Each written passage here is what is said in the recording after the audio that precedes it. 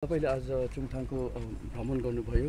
Priority के हुनेछ? First काम चाहिँ चुङथाङ। विशेष गरेर आज केही दिनपछि चुङथाङ जाने अवसर मिल्यो किनभने म अघि नै जान चाहन्थेँ तर मेरो व्यस्त सरकारी कामकाजले गर्दा र विशेष गरी यो रिलिफकै कामले गर्दा जो नेचरल क्यालेमिटिज भयो त्यसले गर्दा नै हामी ज्यादै व्यस्त भयो अनि कनेक्टिभिटी पनि थिएन अनि वेदरको खराबी पनि चल्दै थियो र आज वेदर पनि राम्रो अनि है हामी तय गरेर सब कुछ किनभने मुख्यमन्त्री राहत कोषबाट पनि उहाँहरूलाई हामीले सघाउ पुऱ्याउनु पनि त्यसको डिटेल्स आउनु पनि केही समय लागेकोले गर्दा आज हामीले विशेष गरेर त्यहाँका एफेक्टेड फ्यामिलिजहरूलाई भेट्ने अवसर पायो र हामीले उहाँलाई सरकारको तर्फबाट मुख्यमन्त्री कोषबाट हामीले राहत वितरण गर्ने काम पनि हामीले गऱ्यौँ विशेष गरेर जसको घर फुल्ली ड्यामेज भएको छ उनीहरूलाई एक एक लाख रुपियाँ अनि जसको जो चाहिँ टेनेन्ट छ यानि रेन्टेड हाउसमा बस्ने छ उहाँहरूको लागि बिस हजार रुपियाँको राहत हामीले मुख्यमन्त्री कोषबाट हामीले वितरण गऱ्यौँ अघिबाटै हाम्रो विभागबाट ल्यान्ड रेभेन्यू डिपार्टमेन्ट जो पनि उहाँले पाउनुपर्ने जति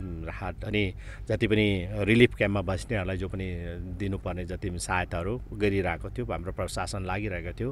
र विशेष गरी आज मैले त्यहाँ जब जहाँ चुङथाङमा जाने उहाँहरूको परिवारको दुःख बुझ्ने मैले है मौका पाएँ। यसमा मैले एउटा कुरा बुझेँ कि त्यहाँका जनताहरूले यो ड्यामको अघिबाट नै विरोध गरेको थिएछ। है उहाँहरूले धेरै सरकारलाई त्यति बेला तिनताको सरकारलाई है उहाँहरूले अनुरोध पनि गरेको रहेछ यो ड्याम यहाँ बनिनु हुँदैन। अनि यो ड्याम पहिला तपाईँको लाचुङमा बनिनेवाला लाचेनमा बनिनेवाला थियो तर लाचेन लाचेनका सम्पूर्ण जनता त्यहाँका पञ्चायत त्यहाँका पिपनहरूले है हुँदैन यहाँ भन्दाखेरि यो ड्याम तल सर्यो। र तल चुङथाङमा पनि ड्यामको विरोध भएको हो तिनताको सरकारमा। अनि तर पछिबाट सरकारले एउटा प्रलोभन देखायो होइन यो ड्याम बनाउँदा केही पनि हुँदैन। यो ड्याम बनायो भने तपाईँहरूलाई धेरै फाइदा हुन्छ र सरकारको तर्फबाट एक एकवटा घर सबैलाई चुङथाङवासीहरूलाई एक एकवटा घर बनाइदिने अनि प्रत्येक घरमा नौकरी दिने अनि पावर बिजुली एकदमै सितैमा दिने अनि जो चाहिँ रेभिन्यू वान पर्सेन्ट रेभिन्यू छ त्यो पनि चुङथाङकै लागि यहाँकै लागि नर्थ सिक्किमको लागि हामी दिन्छौँ भनेर जुन वादा गऱ्यो त्यसपछि फेरि सरकारको कुरा काट्न नसके उहाँहरूले अब उहाँहरूको मन त थिएन ड्याम बनाउने तर पनि उहाँहरूले है तपाईँको उहाँहरू साइलेन्स भए पछिबाट सरकारले थुप्रो सपनाहरू देखाएर सिक्किमे जनतालाई कि हामी यति हजार करोड कमाउँछौँ राज्यलाई यति फाइदा हुन्छ यो फाइदा हुन्छ भन्ने प्रकारले जुन प्रकारको एउटा जनतामा एउटा तपाईँको कुरा ल्याएर जनतालाई एउटा भ्रममा पार्यो त्यसले गर्दाखेरि यो डाम ड्याम बनियो। तर आज हेर्नुहोस् यो ड्यामले न त सरकारलाई फाइदा गरेको छ न त राज्यलाई फाइदा गरेको छ। उल्टा यति ठुलो डिजास्टर भयो यो ड्यामले गर्दाखेरि। र आज सरकारले दुई हजार सत्रदेखि यो सुरु भएको ड्याम हो। तपाईँको प्रडक्सन सुरु भएको हो। तर आजसम्म कुनै पनि रेभेन्यू पाए पाएको छैन। उल्टा हामीलाई हामीले यो पावर प्रोजेक्टको जुन चाहिँ सेयर छ त्यसलाई बचाउनको लागि प्रत्येक साल लिन पिरियडमा हामीले स्टेट ब्याङ्क अफ सिक्किमबाट हामीले लोन लिएर करिब तिन सौ पैँसठ करोड रुपियाँ हामी तिर हामीले तिरिसक्यो अहिलेसम्म। र आज त झन् यो ड्याम त पुरै तपाईँको नष्ट नै भइहाल्यो। यो ड्याम टोटली वास आउट नै भयो। त्यसपछि अब हामीले पाउनुपर्ने जो चाहिँ टुवेल्भ पर्सेन्ट पावर पनि हामी पाउँदैनौँ। त्यसपछि हामीले रेभेन्यू रेभेन्यू त आजसम्म कुनै पनि पाएको छैन। एक पैसा पनि पाएको छैन। तर हामीमाथि जुन सरकारले यो प्रोजेक्टको सेयर किन्दाखेरि जुन चाहिँ पिएफसीबाट लोन लिएर तिर्नुपर्ने दुई हजार आठ सौ अन्ठानब्बे करोड रुपियाँ छ। अब त्यो कहाँबाट तिर्नुपर्ने? कसरी इन्ट्रेस्ट तिर्नुपर्ने? यो कुनै पनि यो सरकारले पूर्व सरकारले यो पुरा बर्बाद नै गरेको छ। हामी के अरे ऋणमा पनि डुब्यौँ। सँगसँगै आज यो ड्यामको कारणले हेर्नुहोस् चुङथामवासीमा यति ठुलो नोक्सानी भयो। करिब करिब चौवान घर त चौवानवटा परिवारको घर त नष्ट नै भयो। उहाँहरू बस्न लायकको छैन वास आउट नै भयो। सरकारी प्रपर्टीहरू धेरै भए अनि रेन्टमा बस्नेहरू करिब करिब दुई सौ तेत्तिसभन्दा पनि जाएर रेन्टमा बसेकाहरूको नोक्सानी भए। अनि सँगसँगै है तपाईँको कति घरको पशुहरू गए कति कुखुराहरू गए गाडी गए थुप्रो गए सरकार राज्य सरकारको तपाईँको पुलिस स्टेसनै गयो फायर स्टेसनै गयो अनि तपाईँको आर्मीको तपाईँको क्याम्पहरू नै बर्बाद भयो।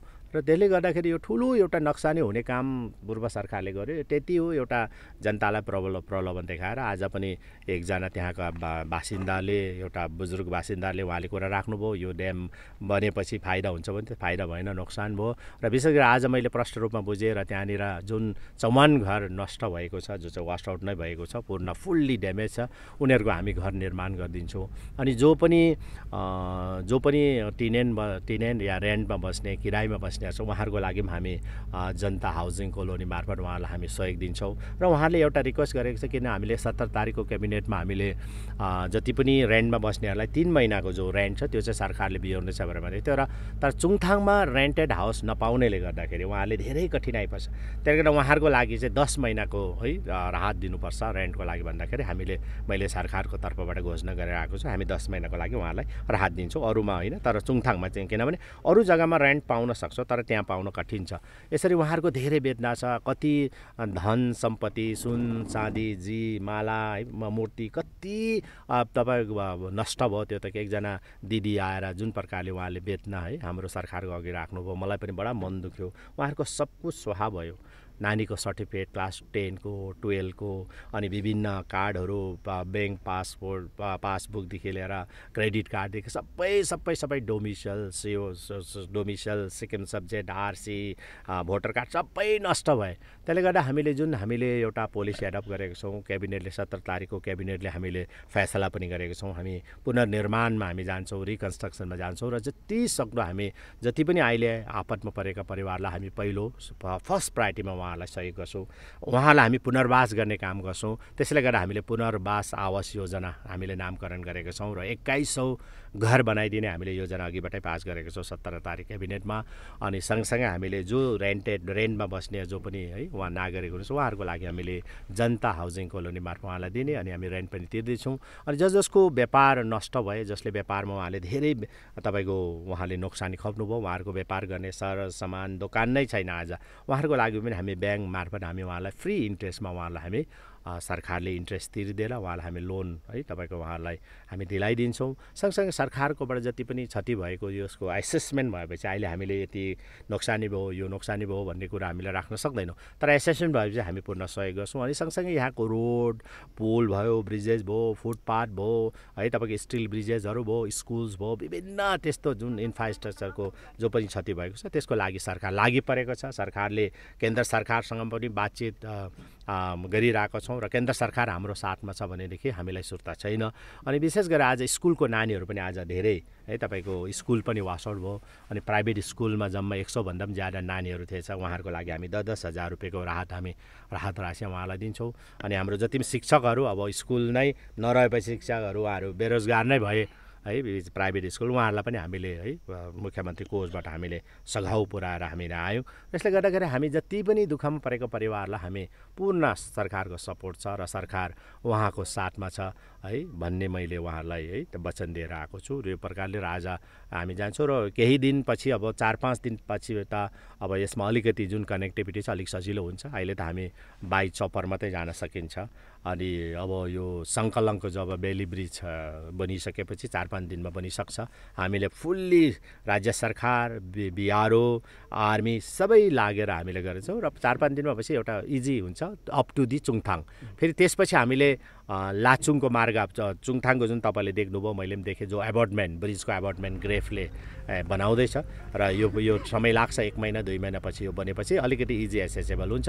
र एउटा प्रब्लम भयो अब हामीलाई तपाईँको लाचेन जानको लागि। लाचेनमा पनि हामी काम गर्छौँ। जब यो बेली ब्रिज बनेपछि जति पनि मेसिनरी लानुपर्ने काम मेन पावर लानुपर्ने काम हामी गर्छौँ।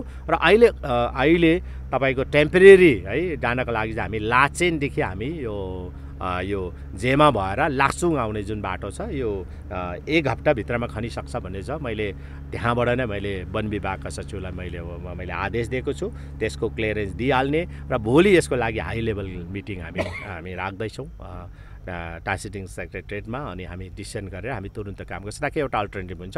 जति पनि लाचेनकोहरू यदि उहाँहरू आउन सक्छौँ लाचेनदेखि तपाईँको जेमा भएर उहाँहरू ला लाचुङ लाचुङदेखि चुङथाङ ल। र चुङथाङदेखि लाचुङको बाटो खुल्लै छ। उहाँहरू छ। तर चुङथाङदेखि यता आउने जो पे पेगोङ छ यता आउने चाहिँ छैन किन ब्रिजको कारणले गर्दा। र हामीले अहिले टेम्परेरी जो मान्छे हिँड्नको लागि चाहिँ तपाईँको ब्रिजेसहरू छ जो जो हामीले ब्रिजलाई युज गरेर हामी गयौँ। र यसले गर्दा हामी पुरा सरकार नै डेडिकेट भएर पुरा है हामी लागेका छौँ सिरियसली लागेका छौँ र हामीले यो दसैँको विधालाई पनि यसैले गर्दाखेरि हामी दसैँको विधा नलिने सबै काममा लाग्ने भनेर हामीले घोषणा पनि गरेका छौँ। र तपाईँहरूको सहयोग र विशेष गरेर म आज मैले जुन भ्रमण है पछिको मैले अनुभव गरेँ त्यसमा सबैभन्दा ज्यादा आइटिपिपीका जवानहरूले उहाँले खट्नुभयो बिआरओका जवानहरूले खट्नुभयो आर्मीका जवानहरूले खट्नुभयो। अनि पछि तिन चार दिन बादमा जब वेदर ठिक भएपछि एनडिआर एनडिआरएफका टिम पनि उहाँहरू जानुभयो उहाँले पनि आज रात दिन ट्वेन्टी फोर आवर्स खट्नुहुँदैछ। एसडिआरएफका टिम पनि उहाँ तैनात छ। हाम्रा आइआरबिपीका भाइहरू फरेस्ट डिपार्टमेन्टका भाइहरू सिक्किम फायरका जति पनि जवानहरू सिक्किम पुलिसका जवानहरू सबै सबै सबै एसडिएमदेखि लिएर उहाँका जम्मै कर्मचारीहरू अनि भिडियोदेखि उहाँका कर्मचारीहरू अनि डिस्ट्रिक्ट एडमिनिस्ट्रेसनका जम्मै डिसी एसपीदेखि सबै लागि परेको छ। र हामी आशा गर्छौँ कि छिटोभन्दा छिटो है उहाँहरूलाई पुनर्वास गर्न पाऊँ र हाम्रो त्यही इच्छा छ र हामी भगवान्लाई प्रे पनि गर्न चाहन्छौँ जति पनि उहाँहरूको अब जति पनि उहाँहरूको धनको नोक्सानी भयो उहाँहरूको प्रपर्टीको नोक्सान भयो त्यो त रिबिल्ड गर्न सकिन्छ तर जसको ज्यानको नोक्सान भयो जसको परिवार गुमायो उहाँहरूलाई म प्रे गर्छु कि अझै पनि उहाँहरू सुरक्षित होस् अब त्यस्तो भएन भनेदेखि हामी उहाँहरूको लागि पुरा सरकारको तर्फबाट सहायता गर्नको लागि तयार छौँ Get all the credible news on the go. Download the Sikkim Chronicle app.